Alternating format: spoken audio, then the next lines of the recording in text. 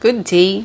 This is Teacher Rizza and this is our lesson 10 for quarter 3 in statistics and probability, mean and variance of sampling distribution. With learning competencies, finds the mean and variance of the sampling distribution of the sample mean and defines the sampling distribution of the sample mean for normal population when the variance is known or unknown. Before we start, let us review our previous lesson which are related in our topic. First, we have sampling distribution, wherein sampling distribution is the probability distribution when all possible samples of size n are repeatedly drawn from a population. And mean, which is also known as the average, is calculated by dividing the sum of the observations by the total number of observations. Variance is the average of the squared deviations from the mean. It is being denoted by s squared which means sample variance, and sigma squared means population variance. And standard deviation is the square root of the variance, wherein S is the standard deviation sample and sigma is the standard deviation population. The sample mean and population mean can be calculated as follows. For sample mean, we have x bar is equal to x sub 1 plus x sub 2 plus x sub n divided by n. Or that is the summation of all the values of x divided by n. Wherein x bar means sample mean x sub i means values of the observations in the sample and n is the total number of observations in the sample while population mean is mu is equal to x sub 1 plus x sub 2 to x sub n divided by capital letter N or that is the summation of all the values of x divided by n wherein mu means population mean, x sub i means values of the observations in the sample and capital letter N is the total number of observations in the population. The sample variance and population variance can be calculated also as follows. For sample variance, we have S squared is equal to the summation of the square of the difference of the sample and the mean divided by n minus 1. And for sample standard deviation, that is the square root of the summation of the squared of the sample and sample mean divided by n minus 1 or that is the square root of the sample variance which is square root of s squared. The population variance and population standard deviation can be also calculated in for population variance we have sigma squared is equal to the summation of the square of the difference of the sample and population mean divided by n. And for the population standard deviation, we have sigma is equal to the summation of the square of the sample minus population mean divided by n or that is the square root of sigma squared or the square root of the, pop uh, the population variance. For example, find the sample standard deviation and variance of the following, following heights in centimeter of 10 Miana plants. That is 4 centimeter, 12 centimeter, 14, 15, 20, 19, 18, 17, 16, and 25 centimeter. So first step, we're going to arrange the values in increasing order. That is from lowest to highest. So first, we're going to write 4 centimeter, 12, 14, 15, 16, 17, 18, 19, 20, and 25. Then after that, we're going to get the summation of all the samples. So that's equal to 160.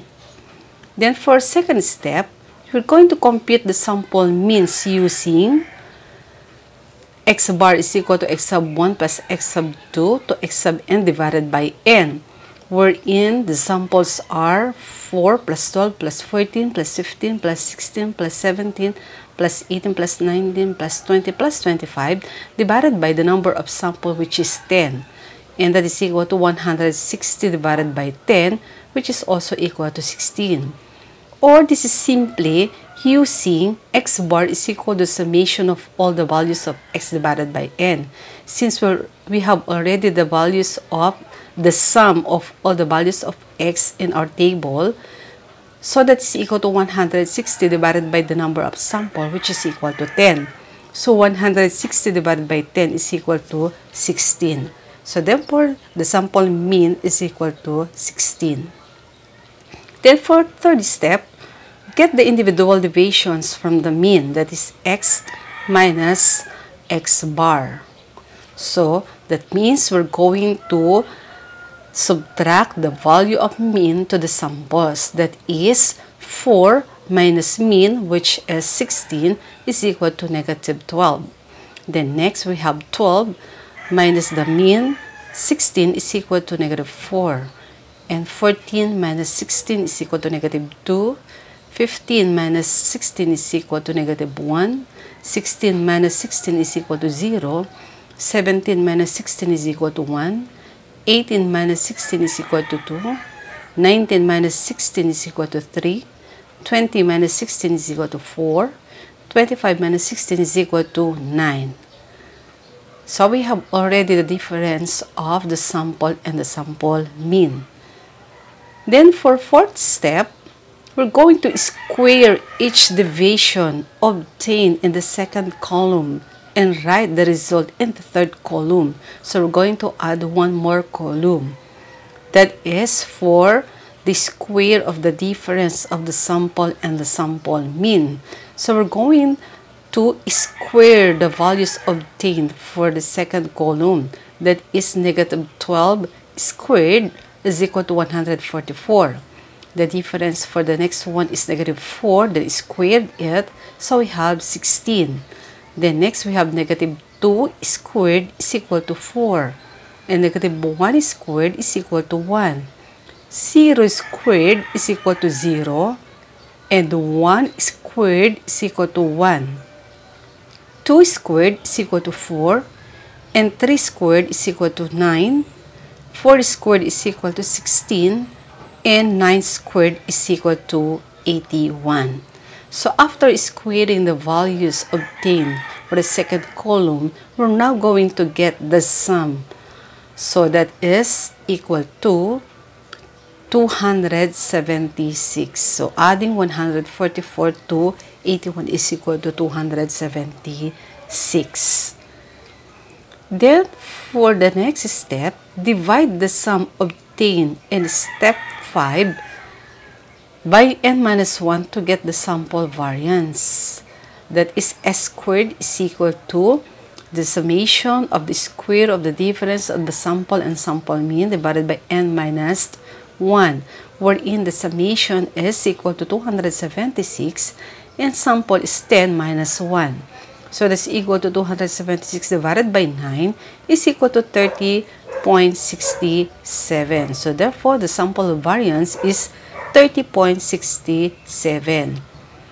Thus, the sample standard deviation can be obtained using the formula in finding for the standard deviation that is the square root of the summation of the square of the sample and sample mean divided by n minus 1 wherein the summation is 276 divided by 9 that's equal to 30.67 and the square root of 30.67 is equal to 5.54. Or, we simply use the formula in finding for the standard deviation that is the square root of the variance, wherein the sample variance is 30.67 and square root of 30.67 is equal to 5.54. So therefore, the standard deviation is equal to 5.54. Have also an alternate solution for that. When more observations are included in the dataset and we want to minimize the deviation, we can use the formulas for sample variance. We have s squared is equal to n times the summation of x squared minus the summation of x squared divided by the value of n times n minus 1. And for stand, sample standard deviation, we have s is equal to the square root of the product of n and the summation of x squared minus summation of x squared divided by n times n minus 1 or that is simply s is equal to the square root of the sample variance which is s squared.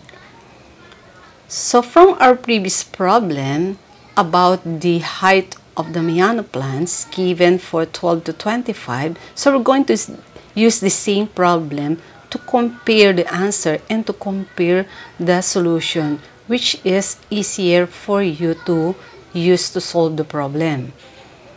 For step 1 using the second method, so we're going to still arrange the values in increasing order. Since we already arranged this from lowest to highest, we will have 4 to 25, then get the summation which is equal to 160. Then for the second step, we're going to square the samples that is x squared. So we're going now to square each sample. So the first sample is 4. 4 squared is equal to 16. Then we're going to square the second sample that is 12 squared is equal to 144 and 14 squared is equal to 196. 15 squared is equal to 225. 16 squared is equal to 256. 17 squared is equal to 289. 18 squared is equal to 324. 19 squared is equal to 361. 20 squared is equal to 400. And 25 squared is equal to 625. Then after that, we're going to get the summation of x squared. So add 16 plus 144 plus 196 plus 225 plus 256 plus 289 plus 324 plus 361 plus 400 and 625 that is equal to 2836 so the summation of x squared is equal to 2836 then next step we're going now to use the formula in finding for the sample variance. That is the value of n which is 10 then times the summation of x squared, which is 2186, minus the summation of x is equal to 160, then squared, then divided by n, which is 10, n times n minus 1. So we have now x squared is equal to 10 times 2836 minus 160 squared times divided by 10 times 9. Wherein 10,000 times 2,136 equal to 283,600 minus 160 squared is equal to 25,600 divided by 10 times 9 is equal to 90. Subtracting 283,600 minus 25,600 is equal to divided by 90 is equal to 30.67. And for the standard deviation get the square root of the value of the sample variance so that is 30.67 the square root of 30.67 is equal to 5.54 so therefore we have the same answer using the first method wherein the sample variance is 30.67 and the standard deviation is 5.54 example number 2 Find the sample variance and sample standard deviation of 10 students score in quiz B given the set of data below. We have 9, 10, 12, 14, 14, 16, 18, 18, 19, and 20. So using the second method, we're going now to write the given or the samples for the first column which is arranged from lowest to highest. So first we're going to write down 9, 10, 12, 14, 14, 16, 18, 18, 19, 20, and get the summation of all the values of x adding 9 to 20 is equal to 150. Then next step, we're going to square each sample. That is x squared. So 9 squared is equal to 81. 10 squared is equal to 100. 12 squared is equal to 144. 14 squared is equal to 196. 14 squared is equal to 196 also. 16 squared is equal to 256. 18 squared is equal to 324. Same with this 18 squared, 324. Then 19 squared is equal to 361. And 20 squared is equal to 400. Then get the summation, add all 81 plus 100 plus 144 plus 196 plus 196 plus 256 plus 324 plus 324 plus 361 plus 400 and that's equal to 2382. Now, to find for the sample variance, we're going to use s squared is equal to n which is 10 and the summation of x squared which is 2382 minus the summation of x which is 150 then squared divided by n which is also 10 minus n minus 1 so that's 10 minus 1 so we have now the sample variance is equal to 10 times 2382 minus 150 squared divided by 10 times 10 minus 1 wherein 10 times 2382 is 23,820 and 150 squared is equal to 22,500 and 10 minus 1 is equal to 9. So that's 10 times 9. So subtracting 23,820 and 22,500 that is equal to 1,320 and 10 times 9 is equal to 90. So 1,320 divided by 90 is equal to 14.67. So therefore the sample variance is equal to 14.67. And to get for the standard deviation, we're now going to use S is equal to S squared, wherein the sample variance is equal to 14.67. And the square root of 14.67 is equal to 3.83. So therefore, the standard deviation is equal to 3.83 and sample variance is equal to 14.67. For activity 1, you're going to solve the following problems completely. So 1, you're going to find the sample mean and sample variance by completing the table. Write down the values of x from lowest to highest, then square each sample. Show your solution, then write down the sample mean, sample variance, and the sample standard deviation. Same with problem number 2. Complete the table and solve for sample mean, sample variance, and sample standard deviation. And for your activity 2, you're going to write down what you have learned from this lesson. So again, before we end, let me remind you to protect yourself and your loved ones from coronavirus following these simple steps from the World Health Organization. So again, thank you. This is Teacher Rizza. Always saying stay healthy and stay at home. Keep safe everyone. Have a nice day. Thank you.